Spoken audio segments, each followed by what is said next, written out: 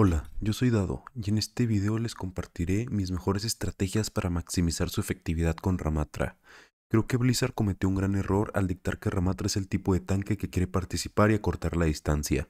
Cuando lo escuché por primera vez dudaba de esa idea y toda la información que obtenido desde entonces solo fortalece mi teoría de que realmente están dándoles un mal consejo. Esto ha arruinado la percepción del personaje y su potencial, ya que casi todos lo están jugando de manera incorrecta. Ningún otro tanque puede competir con el daño a larga distancia que él puede infligir. La gente solo intenta jugar en su forma de Némesis, pero la verdad clave es jugar en forma de mago, pero debes ser tacaño con tus tiempos de recarga. Este es el enfoque opuesto al que creo que la mayoría de los jugadores tiene con respecto a la categoría de tanques en general, que están entrenados para jugar Overwatch 2 como si fuera un juego de presionar tantos botones como sea posible. Este consejo es exactamente lo contrario. El valor está en el daño de tiro con el báculo y manteniendo tus tiempos de recarga. Este sería el estilo de juego basado en aprovechar oportunidades específicas donde tu objetivo es buscar el momento ideal para presionar. Ramatra tiene la mejor mitigación de daño. Siempre pensé que Orisa era ese tanque, pero se agota rápidamente sus habilidades.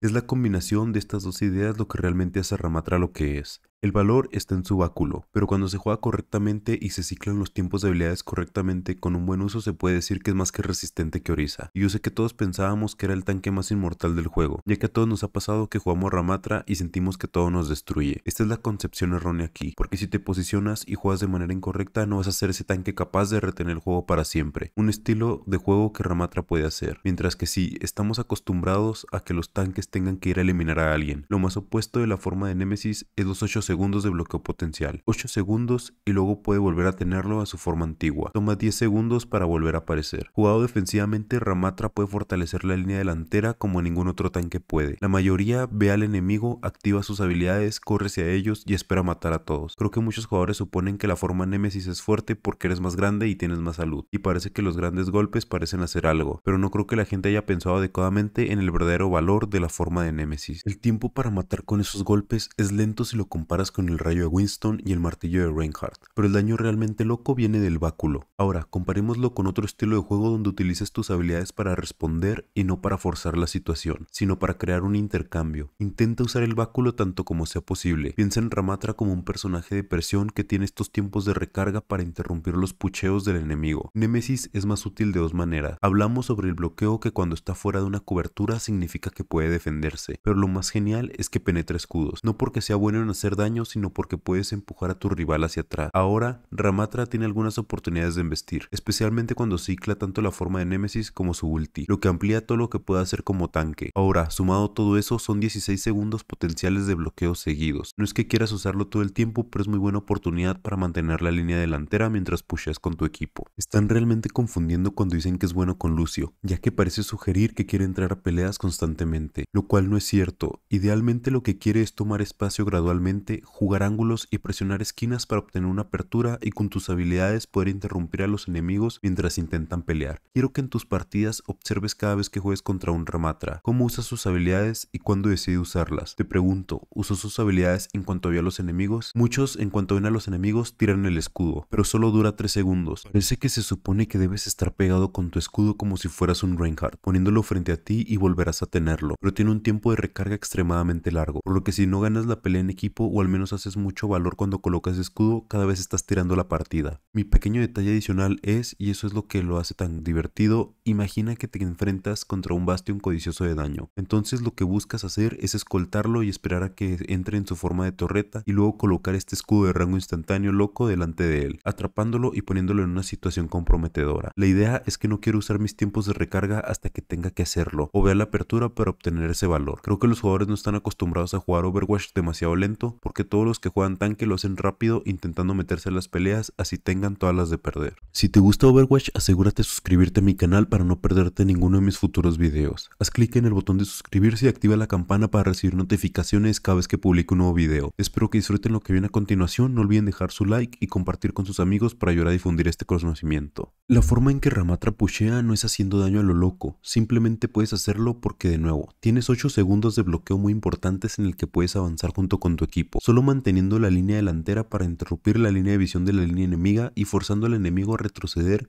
mientras nuestro equipo toma el ángulo para atacar. El posicionamiento es muy importante mientras pushamos todos hacia adelante. La cosa interesante sobre el escudo de Ramatra es lo rápido que se levanta a distancia. Sigma puede manipularlo pero toma un tiempo para sacarlo a distancia, así que si usas el escudo con Ramatra como otros tanques dejándolo enfrente y spameándolo, no lo vas a tener cuando realmente puedas hacer un gran uso con él y luego, por supuesto, la forma Nemesis extiende lo que la Ultimate hace. Refiero a limpiar el objetivo. Puedes preocuparte de que Ramatra no tenga movilidad, pero no puede morir en la línea delantera si lo juegas bien y retienes tus habilidades como te estoy diciendo. Y luego acumulas tanto daño como puedas con tu báculo para buscar una apertura para presionar o simplemente conseguir tu Ultimate. Tu forma Nemesis y Ulti son perfectas cuando peleas el objetivo, ya sea para hacer retroceder al enemigo o acabar con ellos junto a tu equipo. Utiliza tus habilidades en oportunidades específicas y verás cómo sentirás que nunca pueden matarte. Crear tu Ultimate infinita en el objetivo significa que el enemigo no puede contestar si la activas justo antes de capturar el objetivo, así que solo tienes que esperar hasta el momento adecuado y no hay nada que ellos puedan hacer mientras tu equipo te cure. Prácticamente tendrás 600 de vida y un bloque infinito para sobrevivir y eventualmente ganar el objetivo. Nunca hemos tenido una habilidad así en Overwatch. Normalmente con otras Ultimates se pueden contrarrestar muchas cosas, pero aquí no sucederá eso, porque si el enemigo se aleja del objetivo, ganarás, y si se queda, eventualmente ganarás también. En cambio, tendrán que buscar alguna manera de terminarte, pero puedes bloquear de manera infinita. Entiendo que muchas personas mencionan diferentes contramedidas para él, pero si juegas de manera cerrada y lenta para liderar con el báculo y luego terminar el objetivo con tu ultimate, no tienes que pelear nunca. Dicho esto, no sé si diría que Ramatra es un personaje metal 100%, pero creo que hay momentos en los que puede ser muy fuerte y si lo dominas bien, que supera completamente a Sigma en todos los aspectos, y hay mapas donde Ramatra es devastador y puede superar a Orisa. Podrás tener a una Widowmaker, pero Ramatra puede dispararle de vuelta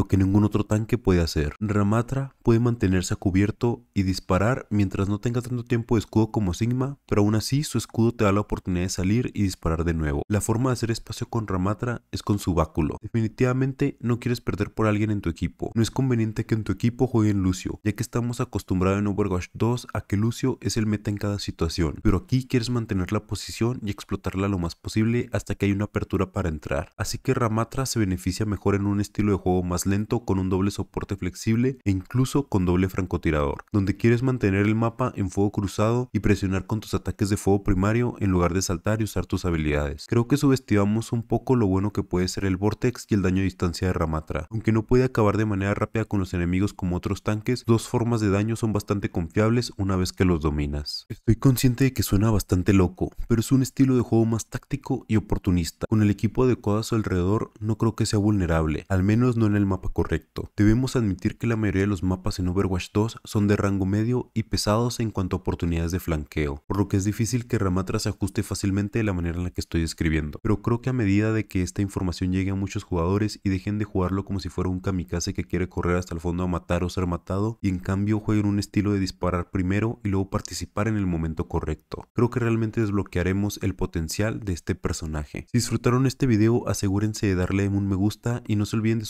y activar la campana para recibir notificaciones cuando publique videos. No olvides dejar en los comentarios tus experiencias para ayudar a otros jugadores. Esto es todo por mi parte, yo soy Dado y nos vemos en el siguiente video.